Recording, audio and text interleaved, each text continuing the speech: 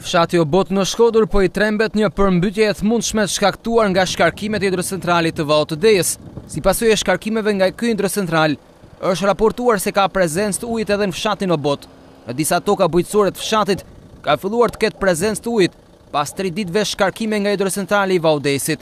Por kryetari i komunës së Anës së Malit, Xhevat Mollca, në një prononcim për mediat, ka sqaruar situatën aktuale e cila nuk paraqitet alarmante, por rreziku i përmbytjeve në rast të shtimit të shkarkimeve është tepër i madh. Menaxhimi i kaskadës së Drinit në qoftë se do mbesin këto nivele dhe të i pase Parasysh edhe favorizimin e kohës, nuk ka pas ndonjë problem.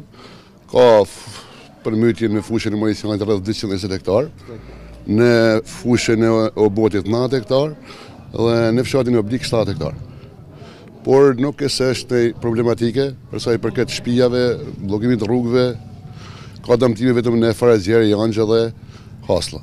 I pranishëm në këtë komunë gjatë së hënës ka qenë edhe drejtori i Hidrocentralit të Vau-Dejës, Kujtim Pruni, i cili ka parë nga afër situatën e cila është krijuar si rezultat i shkarkimeve nga ky hec.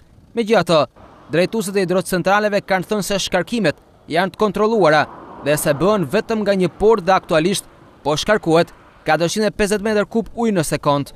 Aktualisht, mësohet se në rrethin e Shkodrës nuk po bien reshje shiu, çka pritet të ndikojë për mirë në këtë situatë.